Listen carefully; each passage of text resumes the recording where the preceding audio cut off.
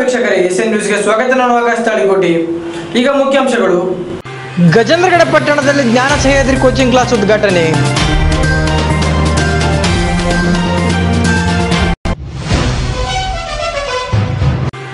ಬ್ಯಾನ್ಗಿಂತ ನ್ಯಾಯ ಅನ್ನೋದು ದೊಡ್ಡದು. ಕಿಚ್ಚ ಹೇಳಿಕೆ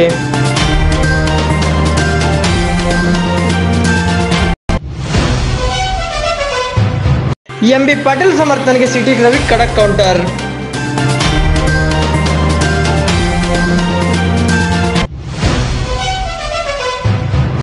ಪೆಟ್ರೋಲ್, ಡೀಸೆಲ್ ಬೆಲೆ ಏರಿಕೆಯ ಬಗ್ಗೆ ಪ್ರಹ್ಲಾದ್ ಜೋಶಿ ರಿಯಾಕ್ಷನ್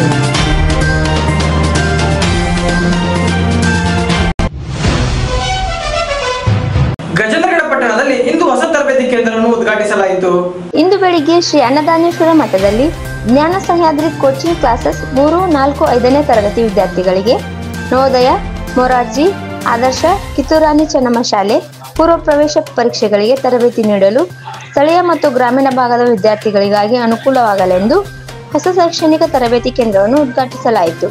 ಈ ಸಂದರ್ಭದಲ್ಲಿ ಕನ್ನಡ ಸಾಹಿತ್ಯ ಪರಿಷತ್ ಅಧ್ಯಕ್ಷರಾದ ಐಪಿ ಗಾನ್ಗೆ ಸಂಸ್ಥಾಪಕರಾದ ಶ್ರೀ ಪ್ರಕಾಶ್ ಹಿರೇಮಠ್, ಶ್ರೀ ವೀರೇಶ್ ಎಲಿಗಾರ್ ಶ್ರೀ ಹನುಮಂತರಾವ್ ಶ್ರೀ ಕಳ್ಕಪ್ಪ ನಾಗೂರ್, ಶ್ರೀ ಮುತ್ತಪ್ಪ ಹುಣಕುಂಟಿ, ಶ್ರೀ ಕುಮಾರ್ ಹೊಸಳ್ಳಿ, ಶ್ರೀ ದೇವನಸಿದ್ದಯ್ಯ ಯಡಹಳ್ಳಿ, ಶ್ರೀ ಪರಶುರಾಮ್ ನಾಗೂರ್ ದೇವನಸಿದ್ದಪ್ಪ ಮುದೇನಗುಡಿ ಶ್ರೀ ದ್ಯಾಮಣ್ಣ ಮುದೇನಗುಡಿ ಹಾಗೂ ವಿದ್ಯಾರ್ಥಿಗಳು ಮತ್ತು ವಿದ್ಯಾರ್ಥಿಗಳ ಪಾಲಕರು ಎಲ್ಲರೂ ಉಪಸ್ಥಿತರಿದ್ದರು.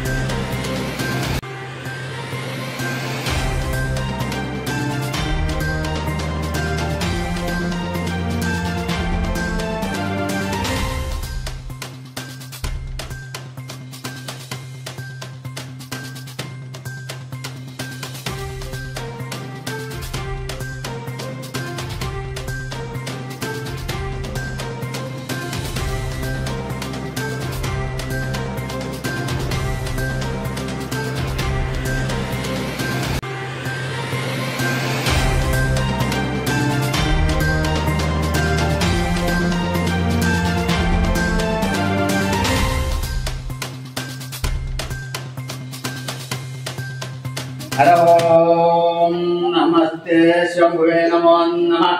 नमस्ते अस्तु भगवान विश्वेश्वराय, महादेवाय त्र्यंबकंबाय त्रिवृंतकायतकालाग्ने कालाग्ने रुद्राय नीलकंठाय मृत्युंजयाय सर्वेश्वराय, सदाशिवाय, श्रीमन्महादेवाय नमो नमः।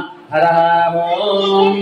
यज्ञेन यज्ञ मयहन्तु देवास्तानि, धर्माणि प्रथमान्यासन् देहनाकं महिमानः सचन्द्र यत्र पूर्वे साध्या सन्तु देवा यश्वो नामृतमय देवी साम्ब सर्वतो जयमङ्गलं जय नमः पार्वती पति शिव हर हर हर ದರ್ಶನ್ ಕೇಸ್ ಬಗ್ಗೆ ಸುದೀಪ್ ಫಸ್ಟ್ ರಿಯಾಕ್ಷನ್ ನೀಡಿದ್ದಾನೆ ಅಲ್ಲಿ ಸುಮಾರು ಒಂದು ಹದಿನೇಳು ಹದಿನೆಂಟು ಜನ ಅರೆಸ್ಟ್ ಕೂಡ ಮಾಡ್ತಾರೆ ಅದು ಕನ್ನಡ ಚಿತ್ರರಂಗಕ್ಕೆ ಒಂದು ಕಪ್ಪು ಚುಕ್ಕೆ ಆಗಿದೆ ಇವಾಗ ಎಲ್ಲೆಡೆ ಅದ್ರ ಬಗ್ಗೆ ಚರ್ಚೆಗಳಾಗ್ತಿದೆ ಸೊ ದರ್ಶನ್ ಅವರು ಕೂಡ ಅರೆಸ್ಟ್ ಆಗಿರ್ತಕ್ಕಂಥದ್ದು ಅವರು ಕೂಡ ಕಾನೂನಿನ ಬಲೆಯಲ್ಲಿ ಸಿಕ್ಕೊಂಡಿರ್ತಕ್ಕಂಥದ್ದು ಏನಿಲ್ಲ ಸರ್ ಕಾನೂನಿನ ಬಲೆ ಅಂದ್ರೆ ಸಹಜವಾಗಿ ಪ್ರತಿ ಸಂದರ್ಭಕ್ಕೂ ರಾಜ್ಯದಿಂದ ಸ್ಪಂದಿಸ್ತಾ ಇದ್ದೀವಿ ಪ್ರತಿ ವಿಚಾರ ಆಯ್ತು ಕಾನೂನಿನ ಬಲೆ ಅಂತ ಅರ್ಥ ಇಲ್ಲ. ಕಾನೂನಿನ ಬಲೆ ಕಾನೂನು ಹೇಳಿದೀವಿ ಕಾನೂನಿನ ಬಲೆ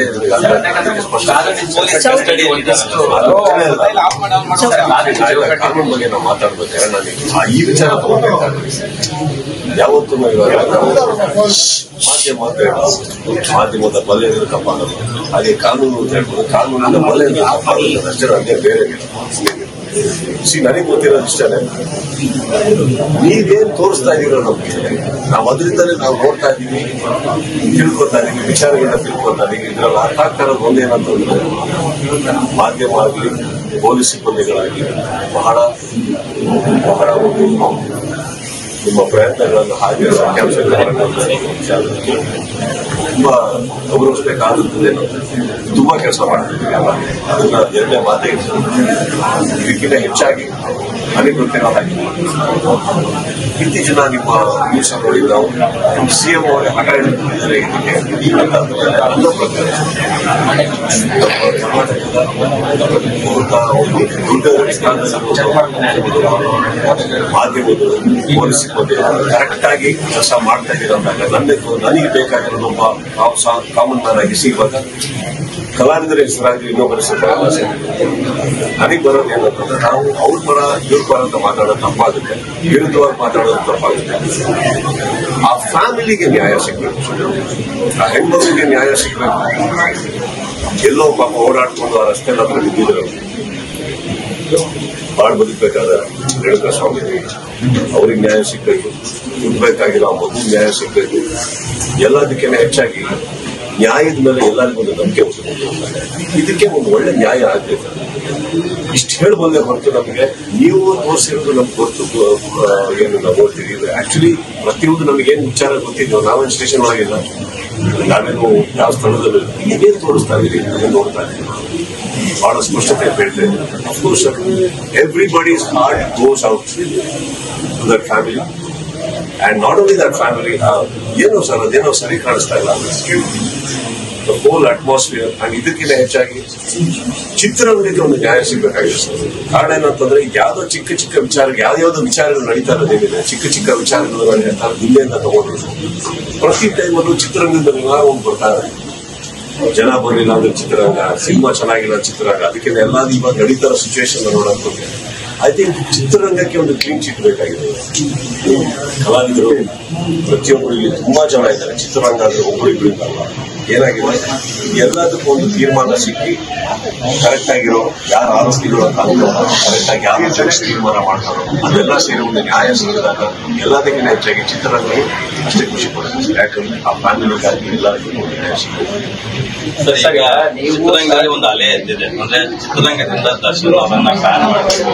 ಅವರ ಸಿನಿಮಾ ರಿಲೀಸ್ ಮಾಡಬಾರ್ದು ಒಂದು ಕಡೆ. ಮತ್ತೆ ಅವರು ಮುಂದಿನ ಅಂದ್ರೆ ಈ ಕೇಸ್ ಆದ ಬಳಿಕ ಬೇರೆ ಯಾವುದೇ ಸಿನಿಮಾಗಳಲ್ಲಿ ನಟಿಸಬಾರ್ದು ಅಂತಕ್ಕಂಥದ್ದು ಒಂದು ಬಗ್ಗೆ ನಿಮ್ಮ ರಿಯಾಕ್ಷನ್ ಯಾಕಂದ್ರೆ ನೀವು ಯಾವತ್ತೂ ದರ್ಶನ್ ಅವ್ರನ್ನ ಅಂದ್ರೆ ಇಲ್ಲೂ ಅವ್ರ ಬಗ್ಗೆ ಸಂಸ್ಕಾರನೇ ತೋರಿಸ್ಕೊಂಡು ಬರ್ತಾ ಇಲ್ಲ ನೀವು ಅವ್ರ ಒಟ್ಟೊಟ್ಟಿಗೆ ಇಲ್ಲ ಅಂತಂದ್ರೂ ಕೂಡ ಯಾವತ್ತೂ ಅವ್ರ ಬಗ್ಗೆ ನೆಗೆಟಿವ್ ಆಗಿ ಮಾತಾಡಿಲ್ಲ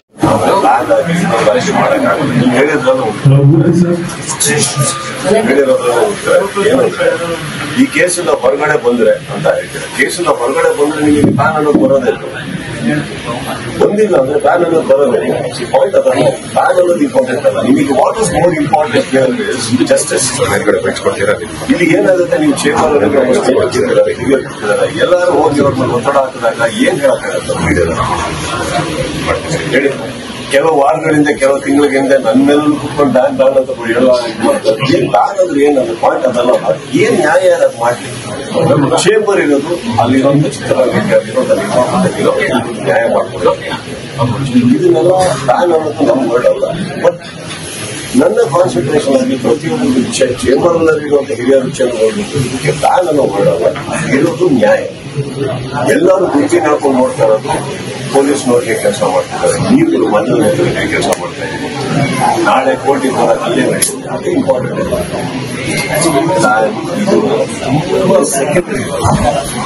ಏನು ನಮ್ಮೆಲ್ಲಕ್ಕಿಂತ ನೋವು ಪಡುವಂತ ವ್ಯಕ್ತಿಗಳು ಕುಟುಂಬದ ಹೊರಗಡೆ ಇದ್ದಾರೆ. ಅವರಿಗೆ ಕಾನ್ಸಂಟ್ರೇಷನ್ ಸರ್ ಜನರು ಕೂಡ ನ್ಯಾಯ ಸಿಗಬೇಕು ಎಂ ಬಿ ಪಾಟೀಲ್ ಸಮರ್ಥನೆಗೆ ಕೌಂಟರ್ ಅವರಿಗೆ ಮಹಾರಾಷ್ಟ್ರ, ರಾಜಸ್ಥಾನ ಅಂಕಿಅಂಶ ಗೊತ್ತಿದೆಯಾ ಇಲ್ಲೋ ಗೊತ್ತಿಲ್ಲ ಎಂ ಬಿ ಪಾಟೀಲ್ರಿಗೆ. ಅಂಕಿಅಂಶ ತೆಗೆದು ನೋಡಲಿ, ತೆಗೆದು ನೋಡಿ ಮಾತಾಡಲಿ. ಬೆಲೆ ನಾವು ಬಿ ಜೆ ಪಿ ಸರ್ಕಾರ ಇದ್ದಾಗ ಸೆಸ್ ಕಡಿಮೆ ಮಾಡಿದ್ವಿ. ಜನರಿಗೆ ಅನುಕೂಲ ಆಗಲಿ ಅಂತ ಕಡಿಮೆ ಮಾಡಿದ್ವಿ. ಇವರು ಸೆಸ್ನ ಜ, ಬೆಲೆ ಏರಿಕೆ ದ ಏರಿಸಿದ್ದಾರೆ. ಈಗಲೇ ಹಿಂಗಾದರೆ ಇನ್ನು ಮುಂದಿನ ಗತಿ ಏನು? ಒಂದು ವರ್ಷನೇ, ಒಂದು ವರ್ಷಕ್ಕೆ ಈ ಪರಿಸ್ಥಿತಿ ಆದರೆ, ನೋಡಿ, ಈ ನಾಲ್ಕು ಜನ ಗುತ್ತಿಗೆದಾರರು ಆತ್ಮಹತ್ಯೆ ಮಾಡ್ಕೊಂಡ್ರು, ಬಿಲ್ ಕೊಟ್ಟಿಲ್ಲ ಅಂಥೇಳಿ. ಒಂದು ಕಡೆ ಗುತ್ತಿಗೆದಾರರು ಸಾಯ್ತಿದ್ದಾರೆ, ಇನ್ನೊಂದು ಕಡೆ ರೈತರು ಸಾಯ್ತಿದ್ದಾರೆ, ಆತ್ಮಹತ್ಯೆ ಮಾಡ್ಕೊಳ್ತಿದ್ದಾರೆ. ಇನ್ನೊಂದು ಕಡೆ ಬೆಲೆ ಏರಿಕೆಯ ಬರೆ. ಇದ್ರ ಪರಿಣಾಮ ಏನಾಗುತ್ತೆ ಅಂದರೆ, ಇಲ್ಲಿ ಪ್ರೊಡಕ್ಷನ್ ಕಾಸ್ಟ್ ಜಾಸ್ತಿ ಆಗುತ್ತೆ ಅಂದರೆ, ಇಲ್ಲಿ ಯಾರು ಇನ್ವೆಸ್ಟ್ ಮಾಡೋಕ್ಕೆ ಬರಲ್ಲ. ಇನ್ವೆಸ್ಟ್ ಮಾಡೋಕ್ಕೆ ಬರಲ್ಲ.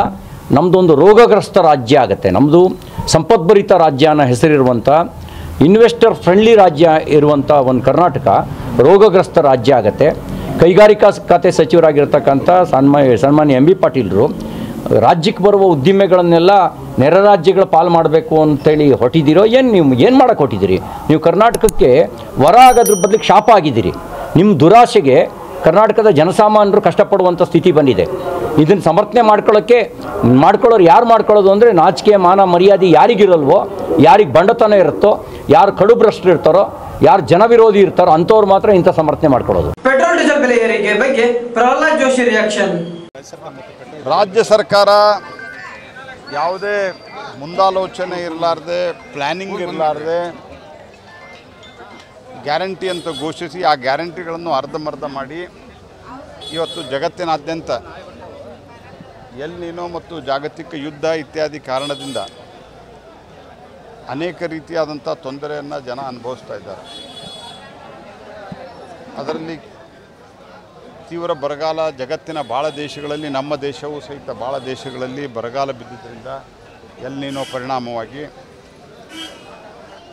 ಅನೇಕ ಕಡೆ ಬೆಳೆಗಳು ಎಷ್ಟು ಬರಬೇಕಾಗಿತ್ತು ಅಂದ್ರೆ ಅಗ್ರಿಕಲ್ಚರಲ್ ಪ್ರೊಡ್ಯೂಸ್ ಎಷ್ಟು ಬರಬೇಕಾಗಿತ್ತು ಅಷ್ಟು ಬರಲಿಲ್ಲ ಇದರ ಪರಿಣಾಮವಾಗಿ ಮೋದಿ ಸರ್ಕಾರ ಭಾಳಷ್ಟು ಪ್ರಯತ್ನವನ್ನು ಮಾಡಿ ಸಹಿತ ನಾವು ಬೆಲೆಯನ್ನು ನಿಯಂತ್ರಣ ಪ್ರಯತ್ನವನ್ನು ಮಾಡ್ತಾಯಿದ್ದೇವೆ ಮುಂದೂ ಮಾಡ್ತೇವೆ ಅದರ ಅವೈಲೇಬಿಲಿಟಿನೇ ಕಮ್ಮಿ ಆಗಿರೋದ್ರಿಂದ ಜಗತ್ತು ಮತ್ತು ಭಾರತದಲ್ಲಿ ಈಗಾಗಲೇ ಜನ ತೊಂದರೆ ಅನುಭವಿಸ್ತಂಥ ಮಾನವ, ಅದು ನೈಸರ್ಗಿಕ. ಇದು ಮಾನವ ನಿರ್ಮಿತವಾಗಿ ಇವರು ಬಂದ ನಂತರ ಎರಡನೇ ಬಾರಿ ಪೆಟ್ರೋಲ್, ಡೀಸೆಲ್ ಬೆಲೆಯನ್ನು ಜಾಸ್ತಿ ಮಾಡ್ತಾ ಇದ್ದಾರೆ. ಇದರದ್ದು ಕ್ಯಾಸ್ಕೇಡಿಂಗ್ ಇಫೆಕ್ಟ್ ನೀವು ಗ್ಯಾರಂಟಿ ಏನು ಕೊಟ್ಟಂಗೆ ಆಯಿತು ಅಂತ ನಾನು ಪ್ರಶ್ನೆ ಮಾಡ್ತೀನಿ. ನೀವು ಮೂರುವರೆ ರೂಪಾಯಿ ಜಾಸ್ತಿ ಮಾಡಿದಿರಿ. ಈಗ ನ್ಯಾಚುರಲಿ ಬಸ್ ದರ ಜಾಸ್ತಿ ಆಗುತ್ತೆ, ಹಾಲು ದರ ಜಾಸ್ತಿ ಆಗುತ್ತೆ, ಉಳಿದ ಎಲ್ಲ ತರಕಾರಿ ಬೇಳೆ ಕಾಳುಗಳು ಸೇರಿದಂತೆ ಅಕ್ಕಿ ಎಲ್ಲವೂ ಸ್ಯಾರಿ ಜಾಸ್ತಿ ಆಗುತ್ತೆ. ಕ್ಯಾಸ್ಕೇಡಿಂಗ್ ಇಫೆಕ್ಟ್ ಇದು. ಹಾಗಾಗಿ ಸರ್ಕಾರದ ಬಡ ವಿರೋಧಿ ನೀತಿಯನ್ನು ನಾನು ತೀವ್ರವಾಗಿ ಖಂಡಿಸ್ತೇನೆ. ಮತ್ತು ಒಂದು, ಇದು ಒಂದು, ಎರಡನೇದ್ದು ಸರ್ಕಾರ ದಿವಾಳಿಯಾಗಿರೋ ಕಾರಣದಿಂದ ಈ ಕ್ರಮಕ್ಕೆ ಕೈ ಹಾಕಿದ್ದಾರೆ. ಮತ್ತು ಇದರ ಜೊತೆಗೆ ಇನ್ನೊಂದು ಸಂಗತಿ ನಾನು ಹೇಳೋದೇನಂತಂದ್ರೆ, ಕರ್ನಾಟಕದಲ್ಲಿ ಇವರು ಎಷ್ಟೇ ಗ್ಯಾರಂಟಿ ಗ್ಯಾರಂಟಿ ಅಂತ ಬಡ್ಕೊಂಡ್ರು ಸಹಿತ ಜನ ಇವರನ್ನು ತಿರಸ್ಕಾರ ಮಾಡ್ಯಾರ ಮಣ್ಣಿನ ಚುನಾವಣೆಯಲ್ಲಿ. ಹಾಗಾಗಿ ಜನರ ಮೇಲೆ ದ್ವೇಷ ಸಾಧಿಸುವಂಥದ್ದು ಕಾರಣದಿಂದಲೂ ಇದನ್ನು ಮಾಡಿದ್ದಾರೆ. ಇದೊಂದು ಬಡ ವಿರೋಧಿ. ಜನರನ್ನ ಒಂದು ಕೈಯಿಂದ ಕೊಟ್ಟು ಇನ್ನೊಂದು ಕೈಯಿಂದ ಕಿತ್ತುಕೊಳ್ಳುವಂಥ ಸರ್ಕಾರ ಜನರ ಗಾಯದ ಮೇಲೆ ಬರ ಇಳಿದಿದೆ. ಕರ್ನ ಇಡೀ ದೇಶದಲ್ಲಿಯೇ ಡೀಸೆಲ್ ಮತ್ತು ಪೆಟ್ರೋಲ್ ಬೆಲೆ ಕರ್ನಾಟಕದಲ್ಲಿ ಜಾಸ್ತಿಯಾಗಿದೆ. ಇಡೀ ದೇಶದಲ್ಲಿಯೇ. ಮತ್ತು ಈ ಟ್ಯಾಕ್ಸನ್ನು ಕರ್ನಾಟಕ ಸರ್ಕಾರ ತಕ್ಷಣ ಹಿಂತಕ್ಕೋಬೇಕು ಅನ್ನುವಂಥ ಆಗ್ರಹವನ್ನು ಮಾಡ್ತೀನಿ. ಸರ್ ಹಿಂದೆ ಕೇಂದ್ರ ಸರ್ಕಾರದ ಬೆಲೆ ವಿರುದ್ಧ ಇದೇ ಮುಖ್ಯಮಂತ್ರಿ ಉಪಮುಖ್ಯಮಂತ್ರಿಗಳು ಇದೇ ಬಂದು ಹೋರಾಟ ಮಾಡಿದ್ರು. ಈಗ ಯಾವ ನೈತಿಕ ಅಲ್ಲ ಅವ್ರು ಆವಾಗ ಒಂದು ವೆಹಿಕಲನ್ನು ಇಟ್ಕೊಂಡು ಶವರ್ ರೀತಿಯಲ್ಲಿ ಮೆರವಣಿಗೆ ಮಾಡಿದ್ರು. ಈಗ ಕಾಂಗ್ರೆಸ್ ಸರ್ಕಾರದ ಕಾಂಗ್ರೆಸ್ ಸರ್ಕಾರದ ಮತ್ತು ಕಾಂಗ್ರೆಸ್ ಪಾರ್ಟಿಯ ಶವ ಮೆರವಣಿಗೆಯನ್ನು ನಾವು ಮಾಡಬೇಕಾಗತ್ತೆ. ನಾವು ಇದನ್ನು ಹೋರಾಟ ಮಾಡ್ತೀವಿ ತಕ್ಷಣ ಹಿಂತಕ್ಕೋಬೇಕಂತ ಆಗ್ರಹಿಸ್ತೀವಿ ಹೌದು ಅದು ಪ್ರತಿಭಟನೆಯನ್ನು ತೀವ್ರವಾಗಿ ಮಾಡ್ತೀವಿ. ಎಲ್ಲ ಕಡೆ ಪ್ರತಿಭಟನೆಯನ್ನು ಮಾಡ್ತೀವಿ ಇಡೀ ರಾಜ್ಯಾದ್ಯಂತ. ಈಗ ಐದು ಗ್ಯಾರಂಟಿಗಳ ಬೆಲೆ ವೃದ್ಧಿಯಿಂದ ಈ ರೀತಿ ಮಾಡ್ತೇವೆ. ಹೌದೌದು. ಸರ್ಕಾರ ದಿವಾಳಿ ಎದ್ದಿದೆ ಸರ್ಕಾರ ಆರ್ಥಿಕ ಶಿಸ್ತಿಲ್ಲ ರಸ್ತೆಗಳಾಗ್ತಾ ಇಲ್ಲ ಮೇಲೆ ಇದು ಒಂದು ದೊಡ್ಡದಾದಂಥ ಬರೆಯನ್ನು ಹಾಕಿದೆ. ಈಗ ಮತ್ತೊಮ್ಮೆ ಮುಖ್ಯಾಂಶಗಳು. ಗಜೇಂದ್ರಗಡ ಪಟ್ಟಣದಲ್ಲಿ ಜ್ಞಾನ ಸಹ್ಯಾದ್ರಿ ಕೋಚಿಂಗ್ ಕ್ಲಾಸ್ ಉದ್ಘಾಟನೆ.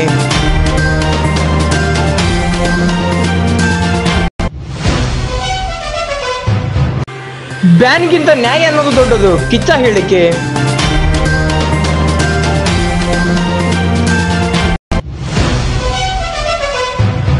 ಎಂ ಬಿ ಪಾಟೀಲ್ ಸಮರ್ಥನೆಗೆ ಸಿಟಿ ರವಿ ಕಡಕ್ ಕೌಂಟರ್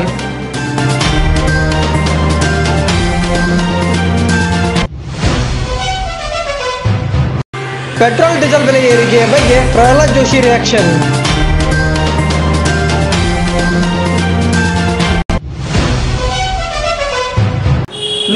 ಸುದ್ದಿಗಾಗಿ ವೀಕ್ಷಿಸಿ ಎಸ್ ಎನ್ ನ್ಯೂಸ್ ವಂದನೆಗಳು.